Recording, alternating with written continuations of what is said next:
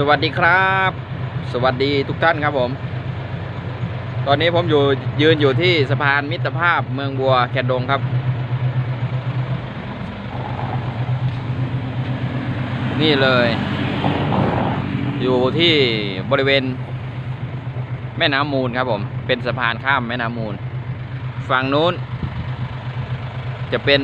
ฝั่งของอำเภอชุมพลบุรีครับ จังหวัดสุรินทร์ ฝั่งนี้ครับ ก็จะเป็นฝั่งของอำเภอแคนดง จังหวัดบุรีรัมย์ครับ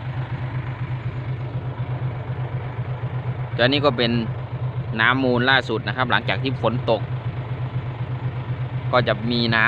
ำพอนิดหน่อย เมื่อก่อนนี้ตรงนี้จะเดินข้ามได้เลย ยังไม่กี่วันแล้วครับอ้าวขยับมาด้านนี้ อะไรนะน่ากลัวจังอะไรน่ากลัว นี่แหละมันลึกใส่ผู้บ่าวผู้สาวเขามาเล่นใจเนี่ยเล่นอยู่ข้างล่างนี่แหละ บ่แต่วันนี้ไม่เห็นมี เนี่ยเล่นอยู่ตรงใต้เสาตอหม้อมานั่งจูจีกันกูเส้นอยากไปจูจีกับเขาไหมสักหน่อยไหมนอนเป็นไงดู ดูบรรยากาศแล้วรู้สึกยังไงบ้าง อยากกลับไปเป็น วัยรุ่นเหมือนเมื่อก่อน อ้าวแล้วแก่แล้วบ่เนี่ยแก่แล้วแก่แล้วนะจะสามสิบแล้วนะอ้าวนี่ด้านนี้ครับผม น้ำก็กำลังสวยงามเลยครับทำไมมันลึกจัง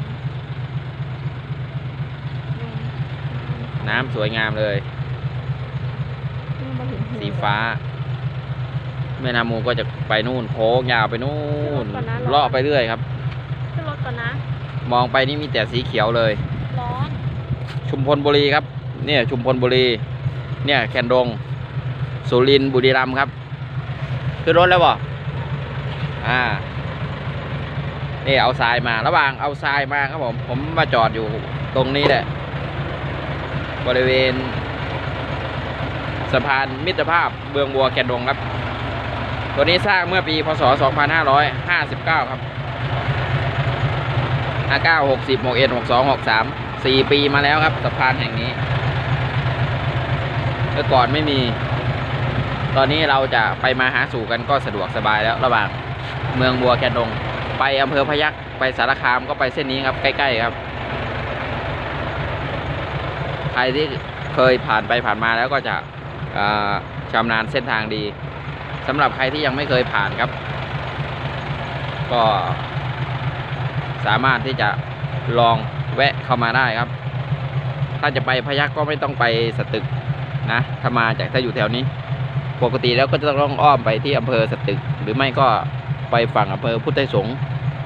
นะครับ ก็จะไปอ้อมไป แต่ตัวนี้มีใกล้แล้ว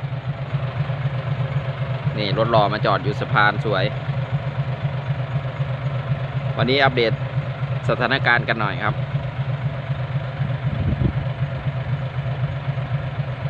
อากาศกำลังดีเลย